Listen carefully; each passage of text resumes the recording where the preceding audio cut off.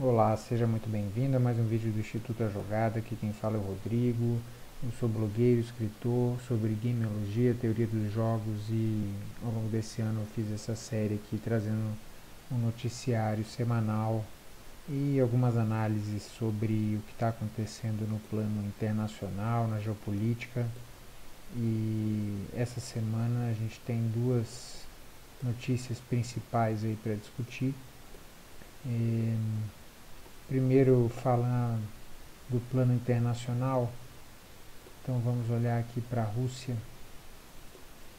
Rússia acusa Reino Unido de sabotar o gasoduto Nord Stream. Então, essa notícia é bastante é, bastante é, preocupante para os mercados do mundo e tudo mais. Por quê? Porque é uma notícia é, que acusa, onde um, uma potência nuclear acusa outra de um ato terrorista ou de guerra. Né? Essa notícia saiu aí na Agência Brasil, no DW, é, no UOL. Então, estatal brasileira, estatal alemã, estatal russa fala que o Kim.com, que é aquele cara do Mega Upload, um bilionário que teve alguns problemas com a justiça, depois disso ele virou uma espécie de um rebelde digital e, e ele parece que é um dos grandes apoiadores do, do Julian Assange. E ele relatou aqui que a Liz Truss usou o iPhone para avisar o, o secretário americano Anthony Blinken que o, o ato estava feito né, um minuto após a explosão do Nord Stream. Então, é, com isso ela produziu aí uma prova e, e bom, muita coisa vinha sendo é, especulada que poderia ter por trás as, as articulações aí dos britânicos que acabaram de eleger um novo primeiro-ministro. Né, e, e aí com esse caso a gente passa a ter um, uma especulação cada vez mais diretamente envolvido. Isso é preocupante porque o, o Reino Unido é, tem está num momento onde, onde é, se se não fizer, se não encontrar uma solução para a sua economia, é, ele pode sucumbir pela própria o peso das próprias dívidas, né? E por outro lado, é, é, essa provocação à Rússia parece muito com a Argentina provocando a Inglaterra no momento onde o, o seu, a sua é, o seu regime político não conseguia se estabilizar. Né? Então é uma coisa que a história é, é muito curiosa mesmo, né? muito irônica. E, e aí com isso a gente é, vem agora para o cenário brasileiro que, que costuma ser um plano B, aí, um backup para os é, grandes investidores, bancos, etc., quando a coisa está meio feia lá por, o hemisfério norte. E nos últimos dias o Brasil elegeu um novo presidente e esse foi muito bem recebido pelo mercado, que já valorizou o real, o dólar caiu 2,81% nos últimos cinco dias. Então, é, isso significa, obviamente, otimismo, a bolsa subiu, mas ao mesmo tempo a gente está tendo um, um caso aí é, repetido de um, um, pesadelo que o país viveu em 2018 com várias rodovias sendo bloqueadas, né? Então, é, será que a gente pode dizer que fica surpreso com algo assim acontecendo? E infelizmente é, eu acredito que não. Por quê? Porque é, eu já previ e já venho falando disso desde 2018 aqui num artigo que eu sempre estou é, repostando aí pela internet. Esse artigo acho que o Bolsonaro não tinha nem acabado de ser eleito, ou, ou recém tinha acabado de ser eleito, é, onde eu explico a, a lógica por trás dessa conflagração e polarização da sociedade que chama Armadilha Robesiana, é um caso aqui de teoria dos jogos, é estudado por um, um cara chamado Thomas Schelling, que foi assessor do presidente Kennedy nos Estados Unidos durante a crise dos mísseis e ele estudou muito esse, essa situação assim de uma escalada armamentista, é, uma escalada de violência. O que, que acontece quando essa escalada foge do controle e aí existe um derramamento de sangue inútil por, por é, digamos assim, excesso de pólvora. Né? É justamente essa situação de você tentar apagar uma fogueira com mais gasolina. Né? Então, é, o, o, o, o mecanismo da armadilha robesiana é justamente criar uma, uma um, um, cenário onde as pessoas não tenham é, ou alternativas, pontos de vista alternativos além de duas visões extremas e, e, isso cria uma, uma, acentuação da dualidade, do dualismo, né? impede as pessoas de terem uma visão é, objetiva e também é, comum, né, comum de um consenso de, de em torno do qual elas podem construir, trabalhar sobre algo, né? E, e essa dualidade ela é a maneira natural do homem ver as coisas, né? Ela é o, a maneira como o homem médio vai ver as coisas porque ele vive ou ou sob a, o olhar do ego ou do superego. É, isso é uma psicologia aí que, que é, existe por trás da teoria dos jogos e que existe por trás desses jogos de, de guerra híbrida ou guerra cognitiva, né, como a OTAN hoje chama. E existem agora por trás desses dois cenários que a gente tem aí, tanto no Brasil como no mundo.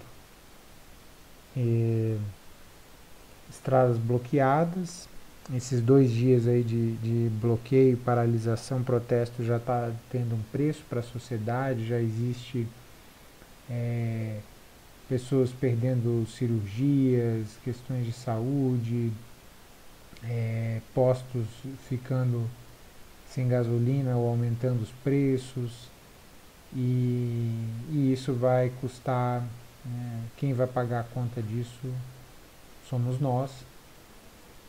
E, e ao mesmo tempo os mercados internacionais otimistas e tudo, então essas forças devem é, chegar a algum, a algum equilíbrio em algum momento, mas elas vão produzir um, um já estão produzindo um efeito inflacionário, é, apesar do dólar se valorizar e tudo, é, a gente vai com certeza ver porque uma semana de, de, bloqueio em 2018 e teve um efeito na economia muito mais violento né, do que a gente pode imaginar.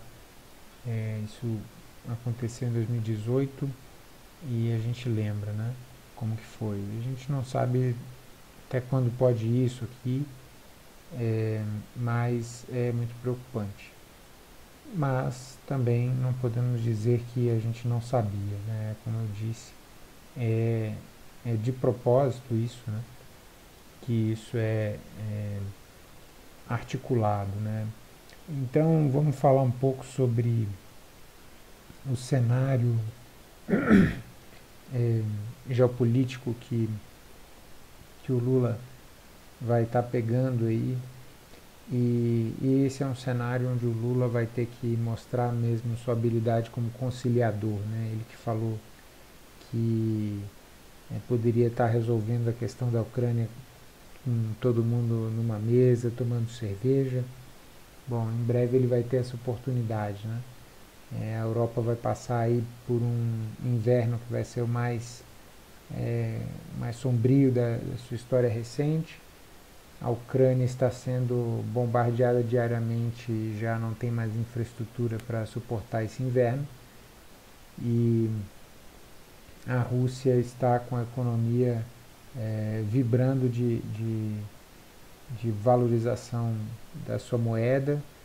É, os BRICS estão ganhando e o Reino Unido está é, numa situação realmente na corda bamba e está fazendo, repetindo um erro que a Argentina cometeu, né, tentando provocar a, a, Rússia a cometer algum erro, algo assim, de modo que, que ela consiga é, ou exaurir a Rússia num processo de, de vietnamização da Ucrânia que deu errado desde o começo e ninguém consegue mudar mais a estratégia agora.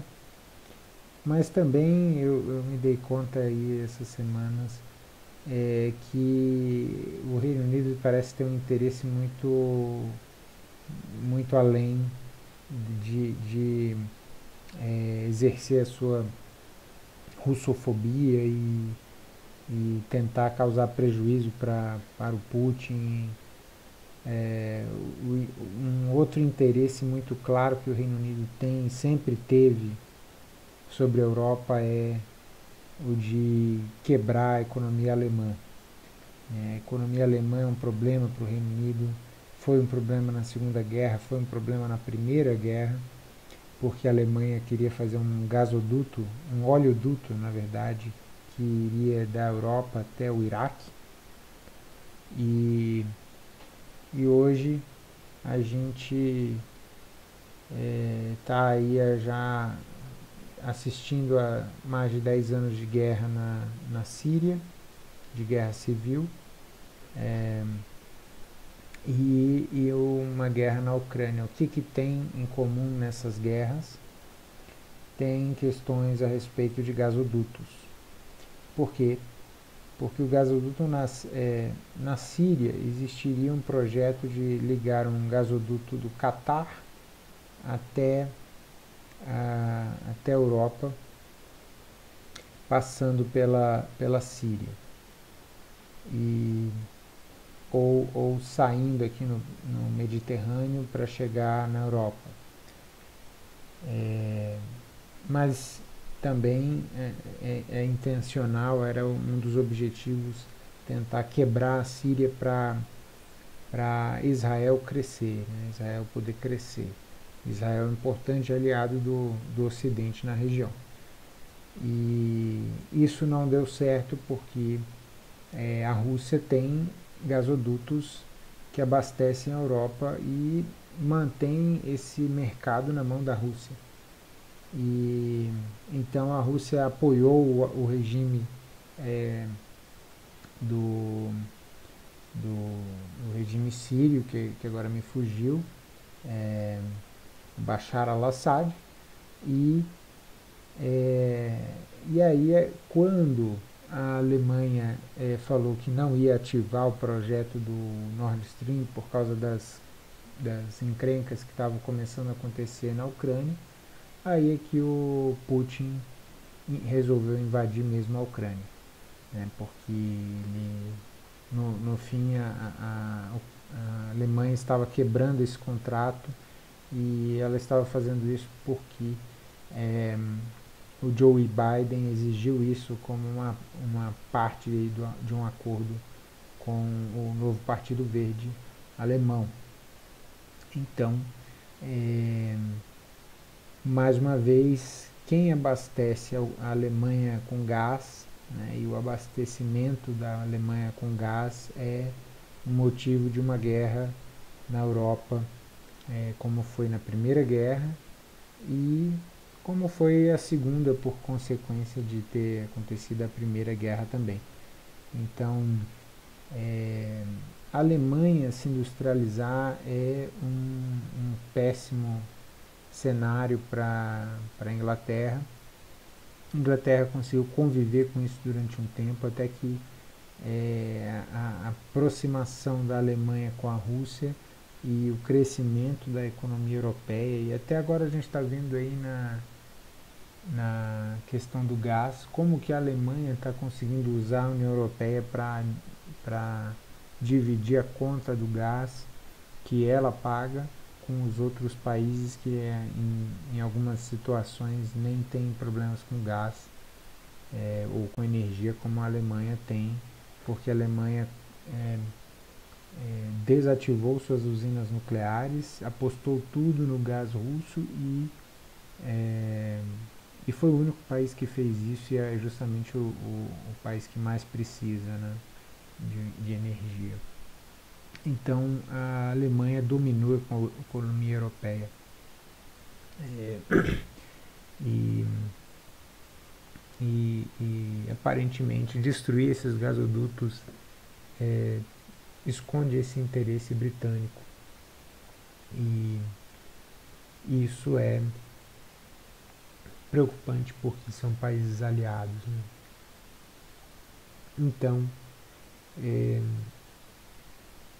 como é que o Lula vai conseguir de alguma forma é, ajudar a conciliar um, um, um, cenário assim tão complexo, né, onde é, não existe, não existe é, acordo nem dentro dos, dos blocos de, do bloco aliado do Ocidente e, e isso também impede o, o, o Ocidente de fazer os movimentos necessários para restabelecer a paz.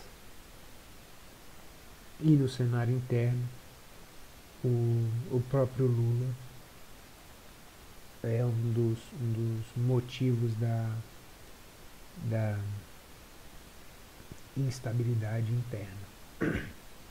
Então, é uma situação complexa, mas eu não nego que o Lula tem experiência suficiente para conseguir é, manobrar. Então, vamos ver aí, vamos assistir o mestre fazer seus movimentos, fazer suas jogadas. Né?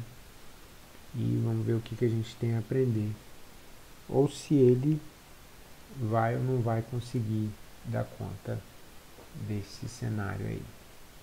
Mas isso vai ficar para as próximas gravações.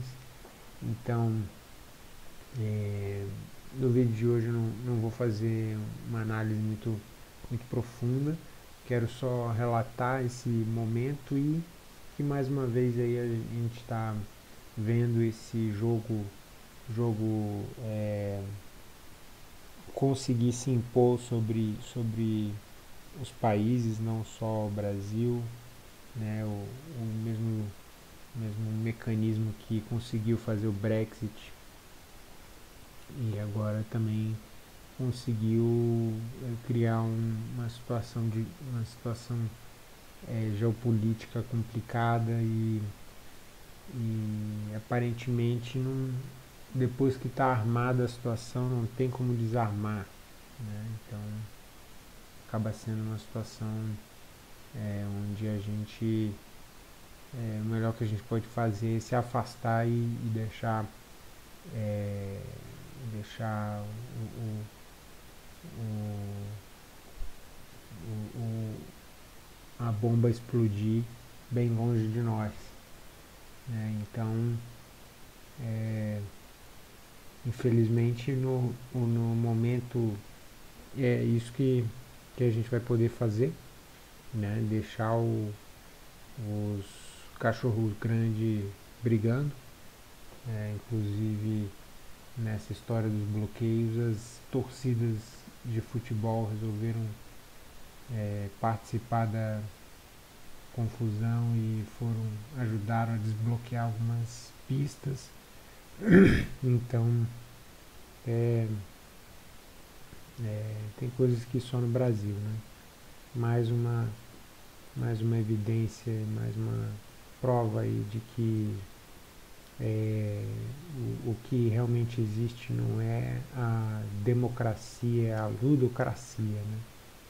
Porque nessas horas aí quem exerce a democracia não é, é o povo, é e sim é a torcida de futebol que de uma, de uma forma é, que, que substitui partidos políticos ou similar ao que alguns partidos políticos faziam é, no século passado, é, tem disposição aí para bater de frente com, com o que tiver na frente, né? É uma coisa curiosa. Tanto quanto a direita ter ido às ruas naquele, naqueles anos de 2016 com as camisas da seleção. E a gente está vendo aí uma Copa se aproximando e, e, e nem parece. Né? Então, coisas misteriosas aí que a gente vai levar para discutir mais para frente. Então é isso. É, deixe seu joinha, seu comentário, compartilhe esse conteúdo. Um abraço até o próximo vídeo. Tchau, tchau para você.